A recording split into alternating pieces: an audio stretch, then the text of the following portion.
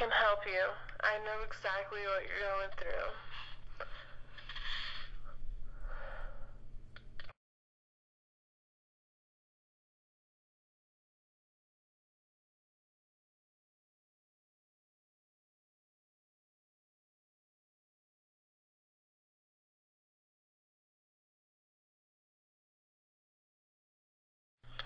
Show me you're here. Sign, anything, please, that you're listening.